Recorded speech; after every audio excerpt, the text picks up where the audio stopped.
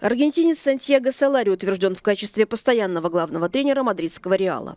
В понедельник клуб направил соответствующие подтверждающие документы в Федерацию футбола Испании. Правила Испанской футбольной лиги запрещают клубу иметь временного тренера более двух недель, а Салари был назначен исполняющим обязанности 29 октября. Он сменил на этом посту Юлина Лапитеги после разгромного поражения от Барселоны со счетом 5-1. Под руководством 42-летнего Салари Реал выиграл 4 матча подряд. Такой тренерский старт стал лучшим за всю историю клуба. Сейчас Реал идет шестым в Ла Лиге и отстает от лидера Барселоны на 4 очка.